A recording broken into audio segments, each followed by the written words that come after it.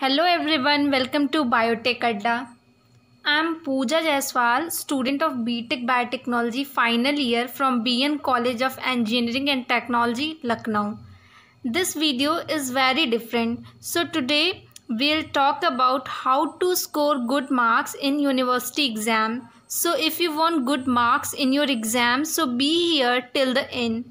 Guys, as you all know कि जब आप जब भी हम एग्ज़ाम्स देते हैं या जो भी एग्ज़ामिनर होता है जब कॉपी चेक करता है तो उसके उसके मार्क्स में कहीं ना कहीं हैंड राइटिंग या how to present our self in our notebook या एग्ज़ाम कॉपी बहुत मैटर करता है।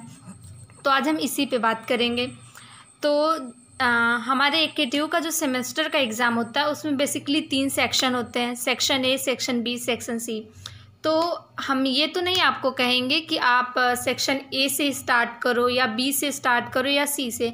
आपको जो भी सेक्शन बहुत अच्छे से आए आप वहाँ से स्टार्ट करो। आ, ता, ताकि आप ज़्यादा से ज़्यादा अच्छा कंटेंट लिख सको ताकि आ, वो कहते हैं ना first impression is the last impression ताकि एग्ज़ामिनर के ऊपर आपका अच्छा इम्प्रेशन पड़े और वो उसी पॉजिटिव वाइब्स के साथ आपकी कॉपी को आगे सिग्नेचर करता रहे। तो देखिए, हमने तो यहाँ पे सेक्शन ए से स्टार्ट किया है। आप किसी भी सेक्शन से स्टार्ट कर सकते हैं जो आपको आए।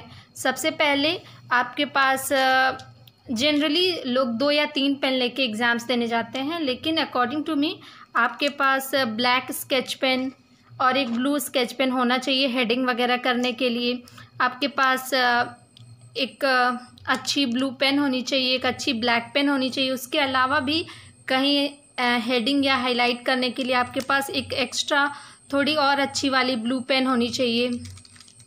देखिए यहाँ पे हमने यहाँ पे सेक्शन ए डाला है। सबसे पहले आप जहाँ से भी स्टार्ट कर रहे हैं, जिस सेक्शन से, उस सेक्शन को आप मेंशन करिए कि ये सेक्शन है और जो भी सेक्शन स्टार्ट करिए, उसको टिल द एंड उसको, उस सेक्शन को कंप्लीट करने के बाद ही आप अगला सेक्शन स्टार्ट करिए। इससे एग्जामिनर के माइंड में कन्फ्यूज़न नहीं होगा और वो मार्क्स आपको अच्छे देगा। आपने यहाँ से सेक्शन ए से स्टार्ट किया, फिर आप कुछ बच्चे आंसर नंबर यहाँ साइड में लिखते हैं, जिससे एग्ज़ामिनर को क्लियर नहीं होता है कि ये नया क्वेश्चन है या पुराना क्वेश्चन था तो उसमें भी मार्क्स देने में काफ़ी कन्फ्यूज़न होता है। तो इसलिए आप आंसर नंबर को बीचों बीच लिखिए यहाँ पे, कि एकदम हाईलाइट ब्लैक पेन से लिखिए। ब्लैक स्केच पेन भी आप यहाँ यूज़ कर सकते हैं। आंसर नंबर फ़र्स्ट का ए था तो हमने डाला। फिर इसको डबल अंडरलाइन भी कर सकते हैं आप या सिंगल अंडरलाइन भी कर सकते हैं। फिर आपका जो भी क्वेश्चन था, आप उस क्वेश्चन की भी हेडिंग कर लीजिए। हेडिंग करने के बाद आप अपना जनरली ब्लू पेन से आप अपने आंसर्स को लिखिए। आपको जो भी आंसर आ रहा है, आप अच्छा आंसर लिखने की पूरी पूरी कोशिश करिए।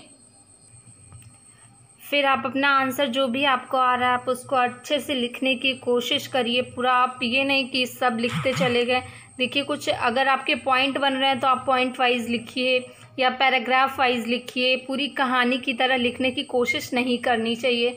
और सेक्शन ए का क्वेश्चन है मतलब दो नंबर, दो मार्क्स का क्वेश्चन है। तो दो मार्क्स के लिए ज़्यादा टाइम वेस्ट करने की कोई ज़रूरत नहीं है, आप ज़्यादा टाइम मत वेस्ट करिए। दो नंबर के लिए आप हाफ़ पेज या फुल पेज जैसा भी क्वेश्चन है, उसके अकॉर्डिंग आप आंसर दीजिए, फिर आप चलिए। फिर जहाँ पे भी क्वेश्चन जो भी कंप्लीट हो जाए, वहाँ पे आप ऐसे डबल अंडरलाइन कर दीजिए। इससे क्या होगा? एग्जामिनर को पता होगा जब आप हर क्वेश्चन के बाद ऐसे डबल अंडरलाइन कर रहे हैं कि बच्चे का क्वेश्चन यहाँ पे ख़त्म हो रहा है, हमें यहाँ पे मार्क्स दे के ही आगे बढ़ना है। इससे मार्क्स में भी कोई कन्फ्यूज़न नहीं हुआ एग्जामिनर को। ऐसे डबल अंडरलाइन करके ही आप नेक्स्ट क्वेश्चन शुरू करिए। फिर जब अब भी आप अपना नेक्स्ट क्वेश्चन शुरू करिए तो फिर वैसे ही आंसर नंबर, फिर क्वेश्चन की हेडिंग डालिए। हेडिंग डाल के फिर अपना आंसर लिखिए। आंसर लिखने के बाद जब भी आंसर कंप्लीट हो जाए पॉइंट वाइज आंसर लिखिए या पैराग्राफ वाइज आंसर लिखिए, फिर ऐसे डबल अंडरलाइन कर दीजिए। फिर आप अपना नेक्स्ट क्वेश्चन स्टार्ट करिए। सेम प्रोसेस से यहाँ पे। नेक्स्ट क्वेश्चन भी स्टार्ट करिए। स्टार्ट करने के बाद पैराग्राफ वाइज आंसर डालिए। फिर फिर अंडरलाइन करिए। देखिए हमने यहाँ पे सारे मतलब उसी सेक्शन के आंसर नंबर वन के डी तक को लिखा हो ज़्यादा बड़ा बड़ा आंसर नहीं, जैसे क्वेश्चन हो वैसे, वैसा ही आंसर हो। हमें कोई कहानी नहीं लिखनी होती है। फिर देखिए, हमने सेक्शन ए ख़त्म किया, फिर हम सेक्शन सी पे आ गए। आप सेक्शन बी भी स्टार्ट कर सकते हैं। जो सेक्शन आपको अच्छे से, आप वहीं से स्टार्ट करिए और जो भी सेक्शन स्टार्ट करिए उसको कंप्लीट करके तभी नेक्स्ट सेक्शन नेक्स्ट सेक्शन पे आप मूव करिए। तो ये हमारा सेक्शन सी हुआ। हमने यहाँ पे सेक्शन को भी मेंशन किया, फिर अपने आंसर नंबर को भी मेंशन किया। फिर हमारे जो क्वेश्चन की हेडिंग है, हम उसको लिखेंगे। ये सेवन मार्क्स का क्वेश्चन है तो एटलीस्ट हम फोर पेजेस में तो आंसर देने की पूरी पूरी कोशिश करेंगे, जो भी सेवन मार्क्स के क्वेश्चन है या टेन मार्क्स क्वेश्चन है। अगर आपको फोर पेज में नहीं आंसर आता तो आप थ्री पेज लिखिए बट मिनिमम थ्री पेजेस तो होने ही चाहिए सेवन मार्क्स के लिए आपको। फिर देखिए हमने यहाँ पे हेडिंग किया, फिर हमने जो भी आंसर था लिखा। फिर देखिए, जो सेक्शन सी या बी के जो भी क्वेश्चन होते हैं, जो भी सेवन मार्क्स के क्वेश्चन होते हैं, उसमें एक ही क्वेश्चन में दो सब क्वेश्चन मतलब दो क्वेश्चन को मिला के वो क्वेश्चन करते हैं। तो जो भी जैसे मान लीजिए यहाँ पे पूछा था what is downstream processing and what are the stages in downstream processing तो हमने दोनों को हेडिंग किया है कि डाउन स्ट्रीम प्रोसेसिंग की डिफिनीशन को भी हमने हेडिंग किया और उसके स्टेजेस को भी हमने हेडिंग किया। मतलब अगर आप दोनों को हेडिंग करेंगे तो वो भी मार्क्स के लिए थोड़ा बेनिफिशियल होगा। और फिर अपने मार्क अपने आंसर करते टाइम जो भी, जो आप आंसर करते हैं, उसमें ऐसे ब्लॉक डायग्राम टाइप भी बना दें। अगर तो भी उससे अच्छा इम्पैक्ट पड़ता है मार्क्स थोड़े अच्छे मिलते हैं। देखिए यहाँ पे जैसे ब्लॉक वाइज डायग्राम बना दीजिए। फिर डायग्राम बनाने के बाद आप यहाँ पे जो भी आपका फिगर आप वहाँ पे उसको मेंशन करिए flow chart of downstream processing ऐसे देखिए block diagram black blue sketch pen का यूज़ करके आप रेड पिंक या ऐसा कोई कलर मत यूज़ करिए, लेकिन आप ब्लैक ब्लू स्केच पेन या स्काई ब्लू तो आप यूज़ कर ही सकते हैं।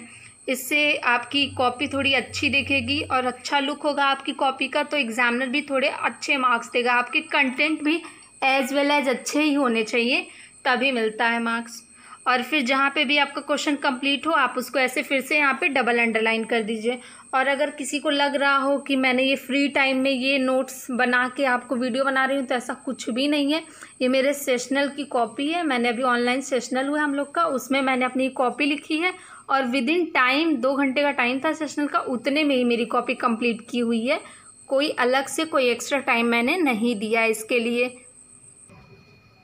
फिर मैंने यहाँ पे अपना नेक्स्ट क्वेश्चन स्टार्ट किया। सेक्शन सी का ही क्वेश्चन आंसर नंबर थ्री का है फिर हमने अपने क्वेश्चन की हेडिंग डाली। क्वेश्चन में भी दो सब क्वेश्चन थे। स्टैंडर्ड टेस्ट प्रोसीजर क्या है? और फिर basic steps of standard test procedure तो हमारे क्वेश्चन में जो भी सब क्वेश्चन है, जो भी एक एक क्वेश्चन में जो भी दो क्वेश्चन है, उसको हम दोनों को हेडिंग करने की कोशिश करनी चाहिए।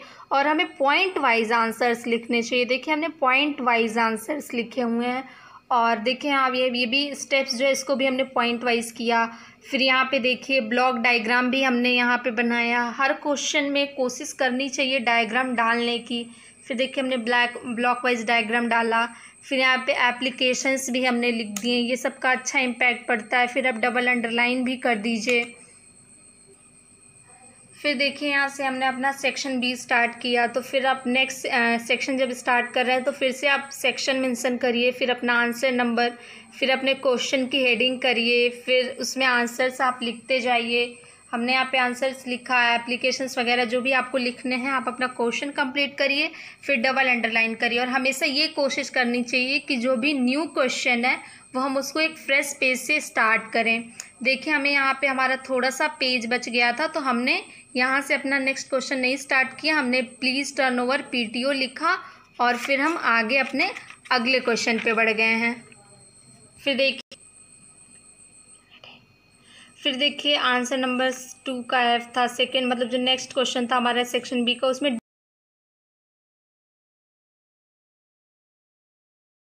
टेबुलर फॉर्म में डाल दिया। डिफरेंस हमने इसको टेबुलर फॉर्म में देखिए, हमने टेबल भी कितने अच्छे से ड्रॉ किया पॉइंट वाइज डिफरेंसेस यहाँ पे मेंशन किए। को भी फॉलो कर सकते हैं। ये पैटर्न आप कर रहे तो फिर थोड़ा अच्छा फिर देखिए, हमने जो नेक्स्ट अगर इस टाइप का क्वेश्चन है तो अगर आप एक पेज में इस तरह टेबुलर फॉर्म में भी आंसर करते हैं तो भी सेवन मार्क्स में आपको सिक्स मिलने की पूरी पूरी प्रोबेबिलिटी रहती है। फिर देखिए, हमने नेक्स्ट सेक्शन का, उसी सेक्शन का अगला क्वेश्चन स्टार्ट किया यहाँ से। फिर हमने section question question number mention किया, फिर हेडिंग करी। फिर देखिए, हम ऐसे जो भी उसमें आंसर्स थे, हमने कई सारे हेडिंग बनाए उसमें। फिर लिखते चले हम उसको। फिर हमने क्या किया? फिर यहाँ पे भी हमने ब्लॉक डायग्राम ड्रॉ किया। ब्लॉक डायग्राम ड्रॉ किया। फिर जो भी आपके जितना भी आंसर्स है, मैक्सिमम हमने यहाँ पे थ्री पेजेस के आंसर लिखे। आंसर ख़त्म करने के बाद सेम प्रोसेस यहाँ पे स्टार्ट किया। फिर हमें यहाँ थोड़ा सा पेज बच गया तो हम इसको यूज़ करने के पीछे नहीं परेशान होंगे। हम नेक्स्ट फ्रेश पेज से ही नया क्वेश्चन स्टार्ट करेंगे। कोशिश करनी चाहिए कि ज़्यादा पेजेस ना बचे वैसे। और पेजेस बच जाएँ तो सिंपली आप पी टी ओ ऐसे लिख करके आप आगे बढ़ जाइए। ताकि एग्ज़ामिनर आपका नेक्स्ट क्वेश्चन पे आप मूव कर सके। फिर आप अपना नेक्स्ट क्वेश्चन स्टार्ट करिए। सेम प्रोसेस सेक्शन बी का ये क्वेश्चन था। जो भी क्वेश्चन आप उसको हेडिंग करिए। पॉइंट वाइज अपना आंसर्स लिखते हुए आइए। आंसर्स लिखने के बाद फिर आप उसमें कोई अच्छा सा डायग्राम ड्रॉ कर सकते हैं अपने आंसर्स के फेवर में। आंसर से रिलेटेड उसको ज़रूरी नहीं है कि आप पेंसिल यूज़ करें। वैसे भी एग्ज़ाम में पेंसिल से नहीं, अगर आप ब्लैक पेन से डायग्राम बनाते हैं तो ज़्यादा अच्छा आपका डायग्राम लगता है और अच्छा भी रहता है। फिर फिगर मेंशन कर दीजिए किस चीज़ का आपका फिगर है। फिर ऐसे ही क्वेश्चन ख़त्म होने के बाद आप क्वेश्चन को डबल अंडरलाइन भी कर दूसरी सबसे इंपॉर्टेंट बात कि आपका जो भी क्वेश्चन जहाँ भी ख़त्म हो तो नेक्स्ट क्वेश्चन स्टार्ट करने में एटलीस्ट थोड़ा गैप होना चाहिए। देखिए, इस क्वेश्चन में, इस क्वेश्चन में थोड़ा गैप होना चाहिए। क्वेश्चन एक दूसरे से मिंगल ना हो ताकि दोनों के सेम मार्क्स ना बन जाए। ऐसे दोनों क्वेश्चन में थोड़ा सा डिफरेंस तो एटलीस्ट होना ही चाहिए। देखिए यहाँ पे भी एक दूसरे क्वेश्चन में थोड़ा सा डिफरेंस है। सो गाइज़ आई होप आपको समझ में आया होगा। वैसे भी एग्ज़ाम्स में मार्क्स कंटेंट के ही मिलते हैं। आप क्या लिखते हो, आपको कितना आता है। लेकिन हाँ थोड़ा बहुत इम्पैक्ट आपके how to present how how you write how you मतलब ये सबसे भी मैटर करता है। So I hope you will like this video thank you